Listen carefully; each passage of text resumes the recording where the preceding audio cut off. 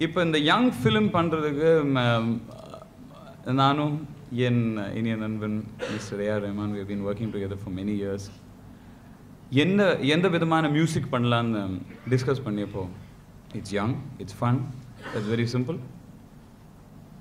but இப்போ இருக்கிற satellite televisions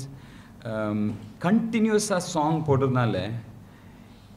lot of songs can get lost you know ஒரு ஒரு மாசத்தோட ஃப்ளேவர் மாதிரி வருது. யூனோ அண்ட் பீட் இருக்குது எல்லாம் இருக்குது and it just disappears songs don't survive you know so ஒரு கிளாசிக் இன்ஸ்டிடியூஷனுக்கு அவங்க fifty years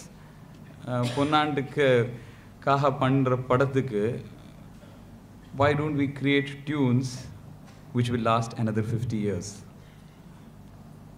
It is with this idea that நாங்கள் டியூன்ஸ் போட ஆரம்பித்தோம் day and night A Rahman ஒடுக்கால் ரூமுகள் லாக் பண்ணி ட்ரை பண்ணிட்டு இருந்தார். நான் வெயிட் பண்ணிட்டு இருந்தேன். ஆனால் வென் த டியூன் கேம்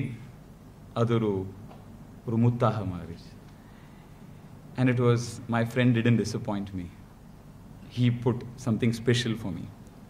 இந்த முத்துகளை எடுத்துகிட்டு வைரமுத்து விடுன்னு போனேன். இங்கிலீஷில்